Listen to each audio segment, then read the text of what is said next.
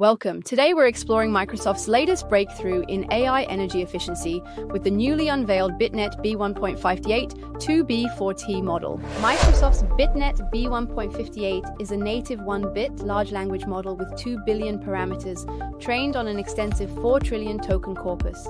This innovative model operates efficiently on standard CPUs like Apple's M2 chip by using 1-bit weights with just 3 values 1, 0, and plus 1. This approach reduces memory usage to approximately 400 millibytes, cutting down computational power and energy consumption significantly.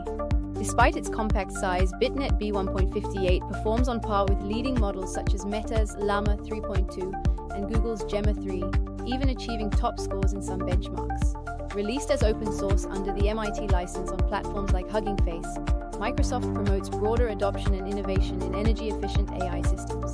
In summary, Microsoft's BitNet B1.58 marks a significant step towards sustainable AI by balancing high performance with reduced environmental impact. Comment, like, and subscribe for more daily AI news.